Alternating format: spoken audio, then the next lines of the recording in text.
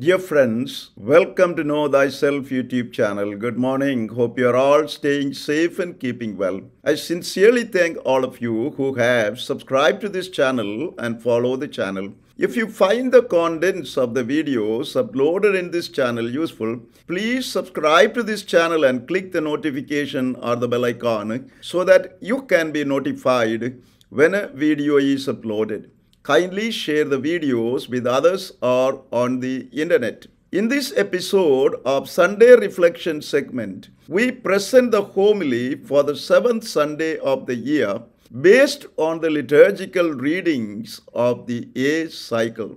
The readings of the seventh Sunday of the year dwell on the theme being holy as God is holy. When the Vietnam War was going on, an Associated Press photographer took the picture of Kim Phuc after her village in Vietnam was hit by a United States napalm bomb. The photo of the little girl pained the conscience of the world. The photo showed her two brothers who were instantly killed in the attack and Kim Phuc then nine years old, running for life naked in pain and terror as her clothes were burned off because of the fire. Despite this horrible experience, recently Kim Phuc, now a grown up woman, placed a wreath at the Vietnam Memorial in Washington, D.C., honoring the soldiers who bombed and killed the members of her family besides leaving on her physical and emotional wounds. After placing the wreath in the short speech she delivered to the silent crowd, she made the following statement I have suffered a lot from my physical and emotional pain. Sometimes I have thought I could not live, but God saved my life and gave me faith and hope. If I could talk face to face with the pilot who dropped the bomb, I would tell him we cannot change history, but we should try to do things for the present and for the future to promote peace. Thus, for Kim Phuc, there should be no retaliation in human living, but we must be internally strong enough to forgive and love those who have harmed us. The readings and the liturgy of the seventh Sunday of the year call us to live a life marked by forgiveness, love, and holiness in imitation of our God, who is forgiving, loving, and holy. The first reading taken from the book of Leviticus gives the holiness code, which contains the reason why we should live a life of holiness. The reason for our striving for holiness is the fact that the Lord our God, whose people we are, is holy. As God's people and His children, we must be as holy as God Himself is. To become holy like God, firstly, we must not bear hatred towards our brothers and sisters. Instead, settle every conflict not by confrontation, but through straightforwardness and dialogue. Secondly, we must neither harbor any form of grudge towards our neighbor, nor be revengeful in dealing with them. Thirdly, we must love our neighbor as ourselves and act kindly towards them. In the second reading, St. Paul, in his first letter to the Corinthians, further elaborates on the holiness code of the book of Leviticus. He gives an additional reason why Christians in Corinth must live holy and upright life so as to represent God's holiness in their life and how they can achieve holiness. On this point, St. Paul says that by our baptism in Christ, each Christian individually and the Christian community at large has become temples of the Holy Spirit. As temples of the Holy Spirit, we must keep our bodies, minds, spirits, and communal living holy so that every individual Christian and the Christian community can truly become the dwelling place of God.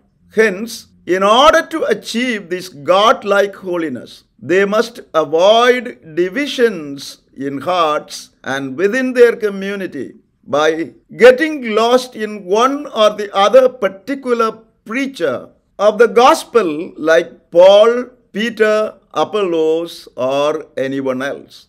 Instead, they all must, in all humility, be united to each other and to Christ, who would make them both individually and as a community to be godlike in their Christian living. In the Gospel of St. Matthew, Jesus presents his moral teaching regarding the principle that guides conflicts between persons and the principle that regulates relationship between persons namely revenge and loving enemies respectively firstly jesus condemns the then prevalent ethnic law of retaliation which proclaims ethics of revenge as the way of regulating conflicts and confrontations between persons. A formulation of this law, namely, eye for an eye, tooth for a tooth, in a milder form, was part of the ethics of Judaism.